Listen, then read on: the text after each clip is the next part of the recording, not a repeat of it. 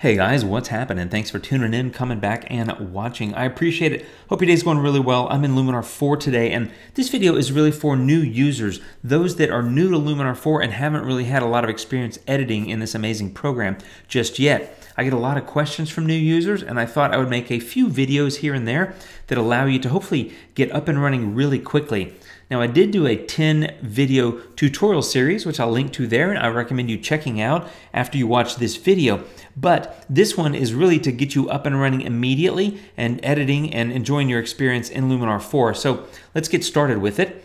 Uh, the first thing you have to do is tell Luminar where your photos are if you're using Luminar 4 as a library. Now, you can also use it as a plugin to popular host applications like Lightroom or Apple Photos, in which case you don't need to import photos into Luminar because you will access Luminar as a plugin from those other apps. But if you're using the library, the first thing you can do is in the upper left, there is the plus sign. You can either add a folder with images or edit a single image. Either way, you'll bring the image, uh, which will be a single image in this case, or the folder with multiple images in it, into Luminar. And as soon as you do that, you will see folders show up over here on the right-hand side. This is the folder structure in Luminar 4, and all it does is it mirrors the folder structure that is on your hard drive, you know, whether it's internal to your system or on an external drive. These folders are added to Luminar, but it's just reflecting or mirroring the folder structure that's on your drive. So one of the first steps I recommend doing is making sure that your folder structure is organized in a way that makes sense to you. I've organized mine by location, and then within each location or broad area, I list them by location uh, with a little bit more specificity uh, and date. Again, it's personal preference. Do what makes sense to you. But that's the key tip, I think, is do something that does make sense to you so that when you add the folders to Luminar, you can see them here and you'll recognize it and you'll understand which photos are where. One of the nice features of the library in Luminar is when you click on this all photos up here, you can see that it sorts through them by date, starting with the year, and then further down by month and even by day. In addition to the folders that I have down here, you also have the ability to create albums. Albums are just virtual collections of photos. So I've got them listed by location, and these are some of my favorite edits. The great thing about albums is because they're virtual collections, you can have photos from different folders in the same album. Okay, now to edit photos, I've clicked on this demo files folder here, and I've clicked on this photo. If you see a yellow highlighted box around your photo, you know that you've selected it. In order to edit, you have to be in the edit window. So we've been in the library tab here or window, which shows the different folder and album structure. There's also edit, and that brings you into the editing pane. Uh, and then the other thing to be aware of is there's an info tab. So that will give you the EXIF data for each of your photos. But I'm gonna go back to the edit tab. A great way to get started editing in Luminar is to use the built-in looks that come with it.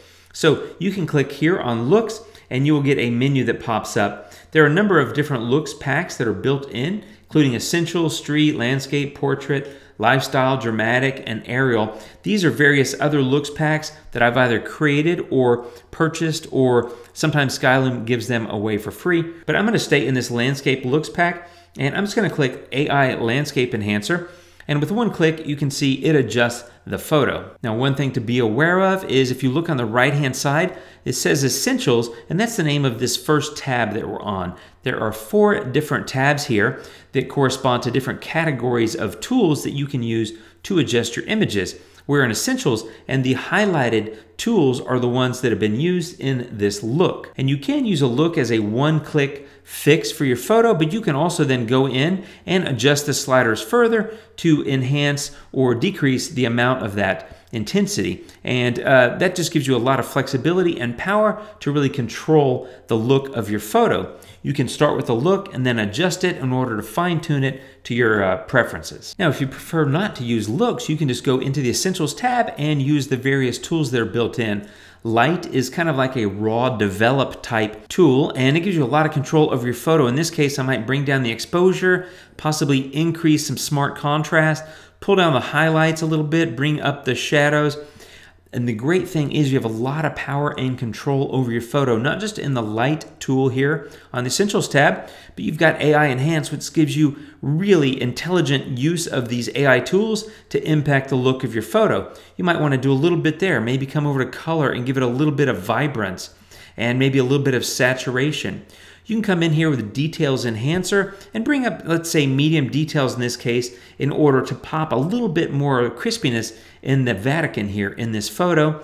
You could come to landscape enhancer and take golden hour to give it some of that warm golden sunset glow.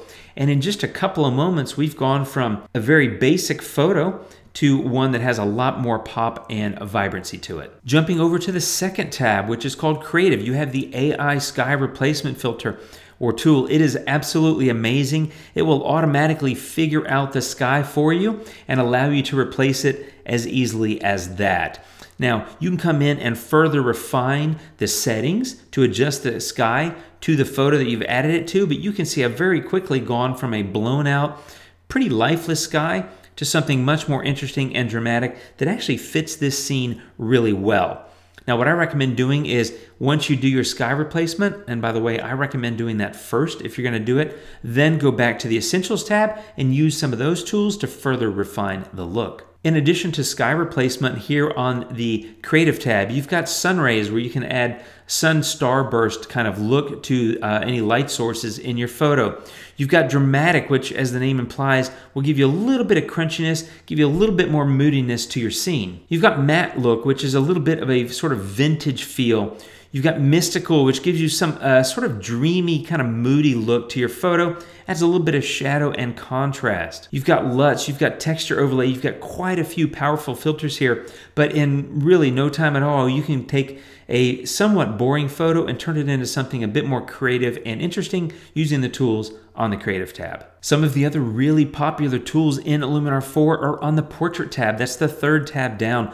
The first one is AI Skin Enhancer, and as the name implies, it does a great job of enhancing skin and smoothing it out. This is a selfie, for lack of a better word, an iPhone shot I took of myself but you can see before and after. I'll zoom in a little bit, but there's before and after. You can see that my skin has been smoothed quite a bit.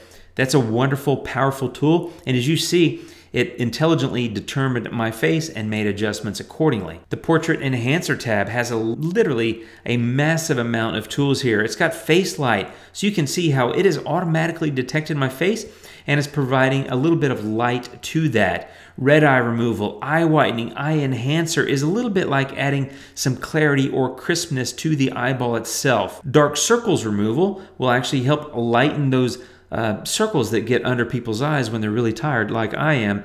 Slim face, hey, I would take advantage of that. So I can actually slim my face in this photo and enlarge eyes. I can also increase the size of my eyes, which if you ever take a portrait and somebody's a little bit squinting, it can help to open up their eyes. Eyebrow improvement, you can saturate lips and add redness, but very quickly, as you can see, you can go from a fairly uninspired uh, self-portrait here with an iPhone to something that looks a little bit more professionally edited. There's also high key and Orton effect, and Orton does a great job of adding some soft softening and soft focus and kind of a little bit of contrast as well. Great way to add mood to a portrait. Okay, and not to be forgotten is the professional tab here, the last of the four editing tabs where the tools for editing your images reside. The professional tab, don't let the name scare you off. While the tools are very powerful and admittedly are a little bit more involved than some of the other ones, they are still basic sliders. So what I recommend doing is coming in here and just moving some of these sliders around to see how it impacts the look of your photo. Advanced contrast, as the name implies, allows you to selectively enhance contrast across highlights, midtones, and shadows. Adjustable gradient lets you separate the photo between top and bottom and make contrast, exposure, shadow and highlight, and warmth and vibrance adjustments in either region. Dodge and Burn allows you to selectively paint in lightening or darkening adjustments to help you control the light and the contrast in your image. Color Enhancer is massively powerful with this brilliance and warmth here. You've got color contrast, split color warmth, and down below you've even got color balance. Can very quickly help you impact a, a, powerful color look in your images. And of course, there's photo filter and split toning, one of my favorites, which separates highlights from shadows and allows you to apply a color look to each one independently. Now, in addition to all these amazing editing tools, you also have the ability to add new layers. So you can come over here to the layers panel and just say plus, and you can add a new adjustment layer or a new image layer. So an adjustment layer would be if you've done a number of adjustments and then still want to experiment some more,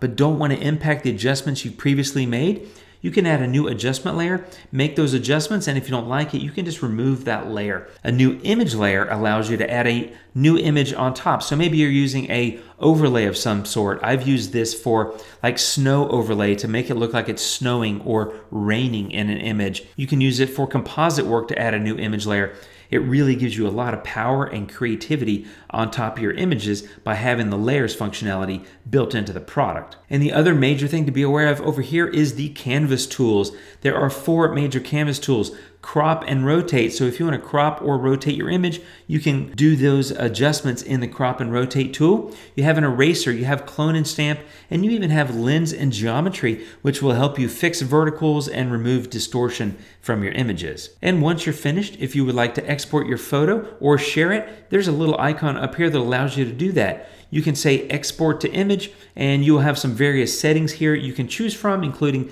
naming the file, resizing it, adding or changing the color space or the format, even sharpening if you'd like to. And of course, your quality setting is there. Alternatively, you can share with some uh, common photo sharing applications like Flickr, or if you want to go to LinkedIn or SmugMug, you can even open in other apps from here. So that gives you the ability to take your finished work and either export it or share it socially. So that's a quick high level tour of some of the power and a quick demonstration, I might add, of the power and the flexibility and the capability of Luminar 4. This video is designed to give you a quick tour of what you can do. There's really a lot of power and a lot of flexibility. And frankly, Luminar 4 gives you so much control over your images.